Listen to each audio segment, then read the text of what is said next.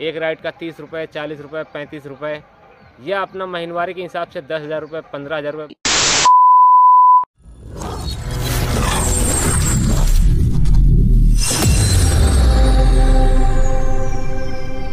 नमस्कार मेरे प्यारे साथियों, हमारे इस नए ब्लॉग में आप सभी का स्वागत है।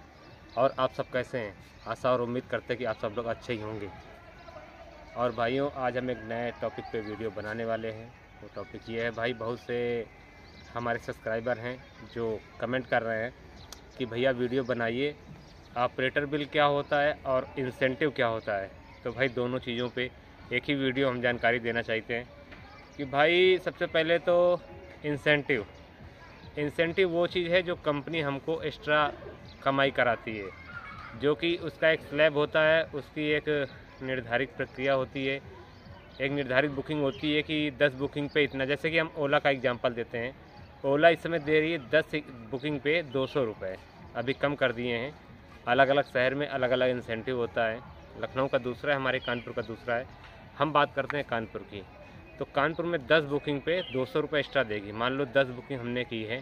नौ बुकिंग की तब तक तो नहीं देगा, लेकिन जैसे ही दसवीं बुकिंग करेंगे, वैसे ही इंसेंटिव हमारा शो करने लगेगा दो सौ रुपये का, जो कि अतिरिक्त होता है। ऑपरेटर बिल के अलावा, मान लो ऑपरेटर बिल हमने दस बुकिंग में, हमारा ऑपरेटर बिल हो गया जाके जो है हर बुकिंग का सौ डेढ़ सौ रुपये मानते हैं दस बुकिंग का वही पंद्रह सोलह सौ रुपये होता है।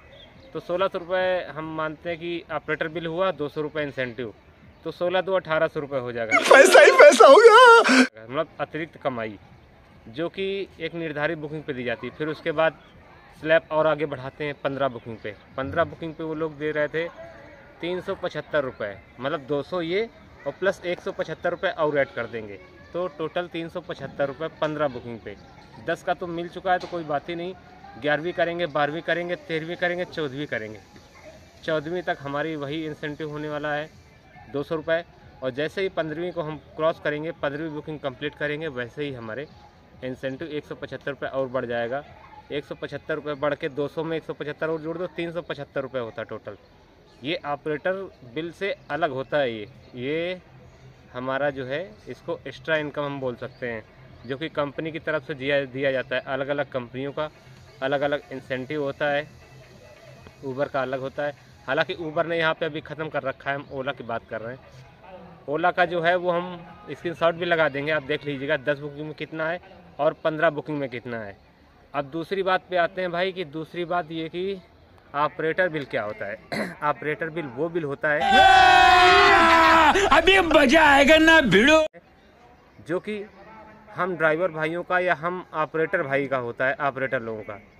उसमें से कंपनी अपना जो है, टैक्स और कमीशन वगैरह हटा के जो हम लोग को ऑपरेटर भी बनाती है, जो बनाती है जो है, ऑपरेटर बिल वो हम लोगों का होता है। जैसे कि मान लो कोई बुकिंग हमने की है, दस किलोमीटर की राइड की है। दस किलोमीटर में टोटल अर्निंग हमारी हुई है, मान के चलो दो सौ पचास रुपये तो दो सौ पचास में पूरे तो हमारे पैसे हुए नहीं। उसमें से कंपनी टैक्स का भी काटेगी और जो है अपना कमीशन भी काटेगी। तो कमीशन और टैक्स मतलब बीस परसेंट हटा देते हैं, बीस से तीस परसेंट कमीशन का भी उसका मिला के।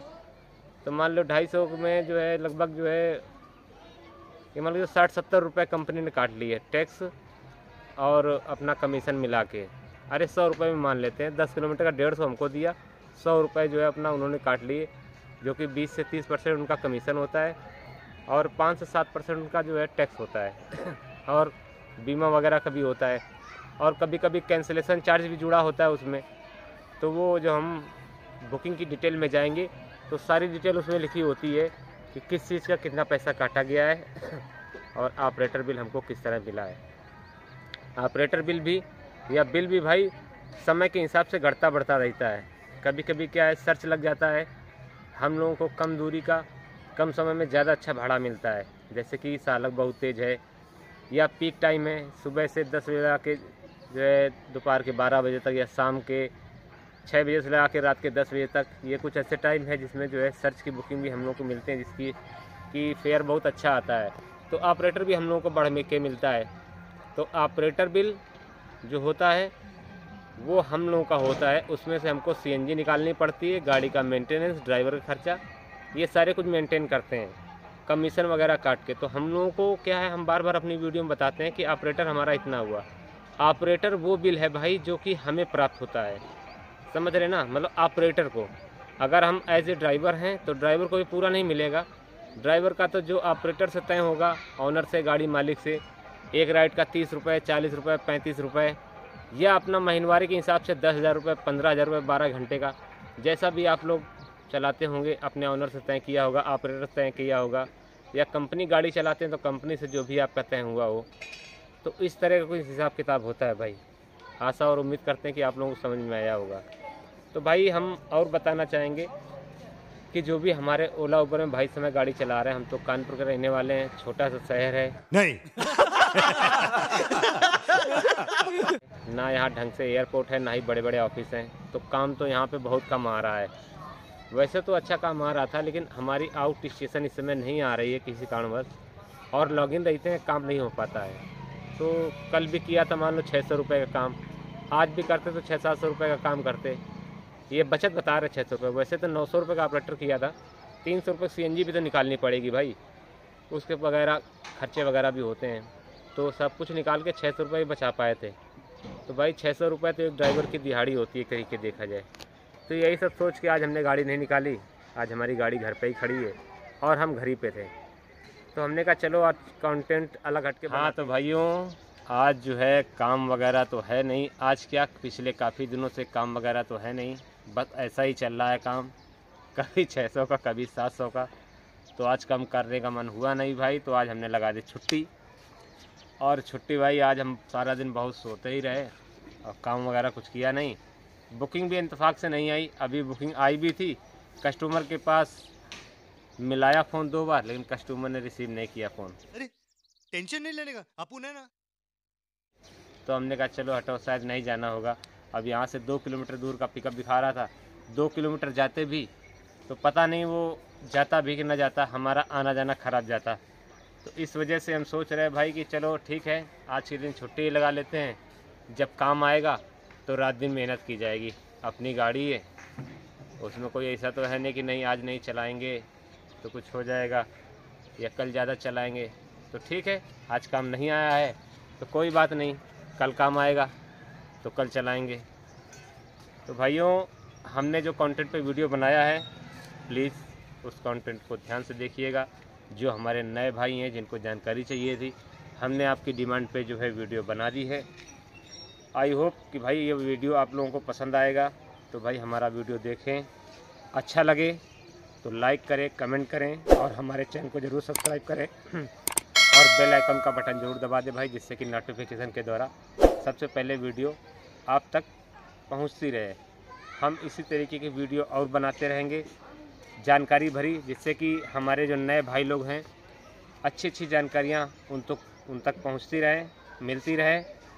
उनका ज्ञान बढ़ता रहे भाई ओला उबर के प्रति, और अभी तो भाई गाड़ी लेने का एकदम भी अच्छा समय नहीं है। भाई आशा और उम्मीद है कि मई के महीने में सालक काफ़ी तेज़ है। फिर स्थिति को सुधरेगी और काम हम लोगों का बढ़ेगा। तब गाड़ी लेने के बारे में आप सोच सकते हो। फ़िलहाल अभी तो सही समय नहीं है। जिस हिसाब से काम है भाई, कि हम लोग तो पुराने हम लोग के पास काम नहीं है। तो नए लोग गाड़ी ले लेंगे, फिर उनको कितनी दिक्कतें होंगी टाइम से किस्त नहीं जमा होंगी।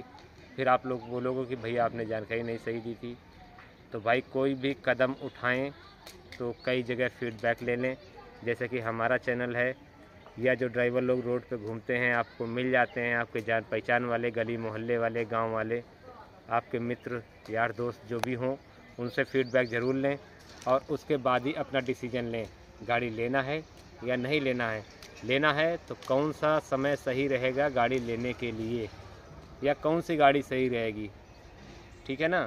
तो आशा और उम्मीद करते हैं कि आपको हमारी वीडियो पसंद आएगी। तो ठीक मेरे प्यारे भाइयों, आज के ब्लॉग में बस इतना ही। कल मिलेंगे एक नए ब्लॉग के साथ में। तब तक हमारे सभी भाइयों को राम राम शुभ रात्रि गुड नाइट ओके टाटा।